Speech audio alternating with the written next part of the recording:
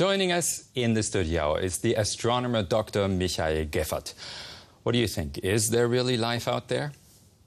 Yes, personally, I believe there is life somewhere in the universe. Mm -hmm. But for us, the contact is very difficult because the distances in the universe they are so large. Mm -hmm. Getting in contact would mean the life is intelligent. Yes, I think that, um, of course, there is some, some other life, but I think also there is some intelligent life somewhere in some galaxy.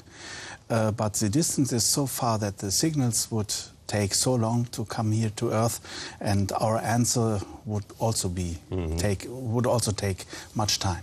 That would not really be a dialogue. No, that is, would not be a dialogue that's just only one signal. And uh, we have in astronomy some people just only hearing with a radio telescope to get some messages mm. of the aliens. Life here on Earth is based on oxygen and on water. You think there could be a completely different form of life?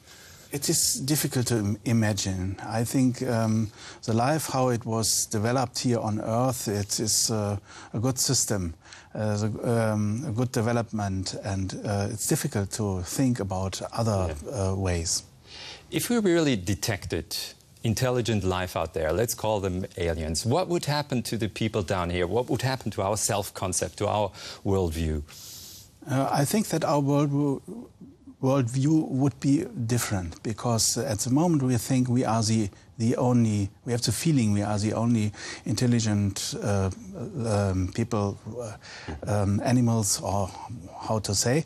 And um, this would be dif different and for for example, for religion, it would be interesting what would be a God for the aliens and mm -hmm. how is the situation, God there and here, or is it a different God? And so it and could be actually a sort of humiliation, like Darwin or Copernicus gave it to the world. No, I think it's not a humiliation because um, I think every person um, is a miracle, and um, if you are in contact with uh, such persons, uh, you will feel that, and you have to imagine that is uh, that the other persons are very valuable. So if you detect somewhere other aliens, uh, it would not change something. You actually do research in the field of astrometrics, meaning you measure how stars move. Um, how big is the challenge for people like Michel Mayor actually trying to find single planets by other stars? Uh, he, need a, he needed a very sophisticated technique. Mm -hmm. And uh, the basic of all these measurements is that you will have a star in the middle and a planet which is moving around, but the star is moving a little bit, and you have to detect this small motion of the star.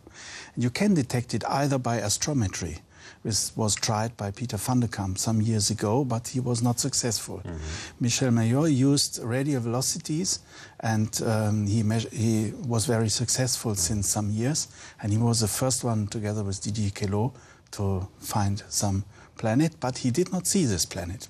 Will we have a chance one day to find out more about these planets, just quickly?